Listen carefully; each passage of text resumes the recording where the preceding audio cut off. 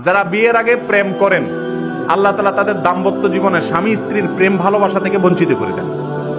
এদের দাম্পত্য জীবনে সুখ শান্তি হয় না। আর যারা এটাকে জমা রাখেন, আল্লাহ তালা তাদের দাম্পত্য জীবনে সাধারণত সুখ এবং শান্তি দান করে থাকেন। এজন্য এটা হারাম।